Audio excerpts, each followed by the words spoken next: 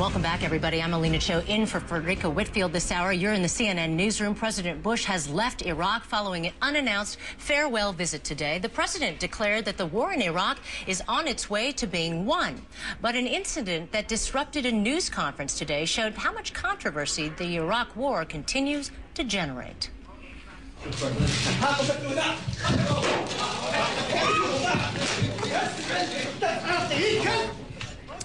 A man threw two shoes at the president before security officers dragged him away.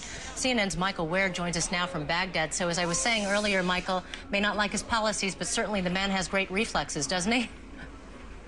Oh, absolutely. I mean, he, he moved like a cat. And it was just so deft. Actually, he moved like a boxer. The way he just shifted out of the way and the thing whizzed past his head. Now, the, something to say about this incident. The man who threw this is actually an Iraqi journalist working for an Iraqi television network. And it appears he became so outraged at something that he threw these shoes, hurled them at President Bush's head.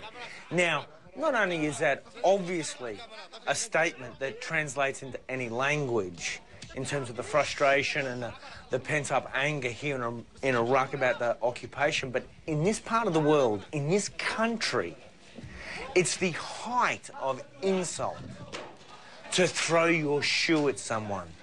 I mean, it's beyond imagination to, to convey this to the non Arab world. Normally, such an insult is only reserved for the most despised. Like after the invasion when the the statue of Saddam was pulled down and the Iraqis leapt upon it and slapped it with their shoes.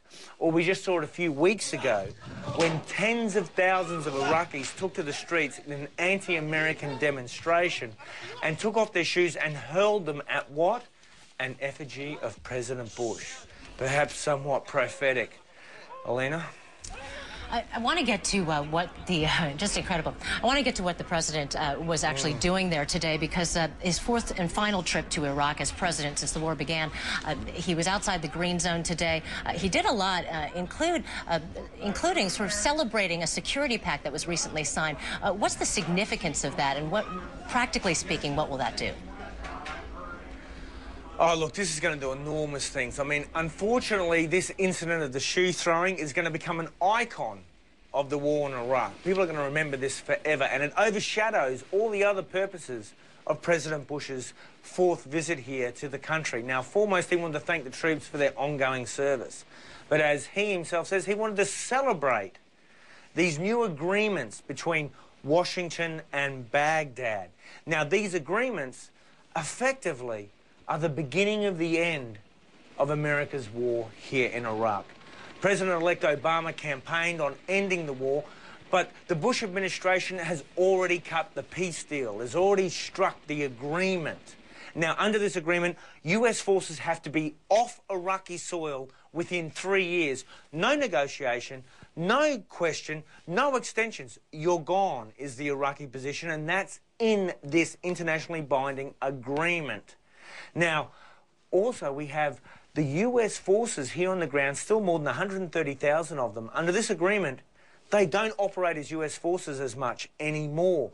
Everything they do, any combat operation, they have to go and coordinate with the Iraqi government. To search a house looking for Iranian Quds Force officers who are killing Americans, they have to go and get an Iraqi judge to give them a warrant.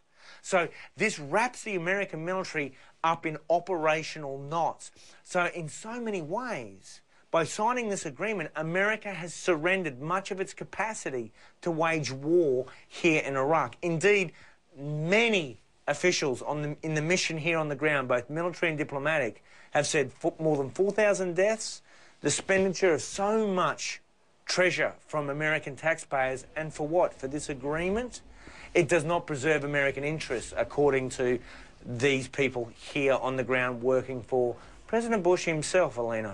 Uh, Michael, so interesting your insight into all of this, but I do want to uh, talk about what you alluded to earlier, which is that this shoe throwing incident really is likely to overshadow yeah. so much of, of sort of the, the practical work that they're trying to do in Iraq. And, and I want uh, to get to the president's reaction, um, uh, what he said. I mean, he, he really uh, joked about it. Uh, and let's listen to his reaction. You can react on the other side, Michael. Mm -hmm. I believe we have that, uh, So what if that we got reaction issue, from the president. There we go. I go. consider it a important step in, in, in uh, on the road toward an Iraq that can sustain itself, govern itself, and defend itself. But let me talk about the guy throwing the shoe. Uh, it is one way to gra- gain attention. Uh, it's it's like going to a political rally and having people yell at you. It's like driving down the street and have people not gesturing with all five fingers. We got to hand it to him. He, he did uh, he did take it well, didn't he, Michael? Yeah, he did. You, you really do have to give it to President Bush. He didn't lose his composure. He moved like an athlete.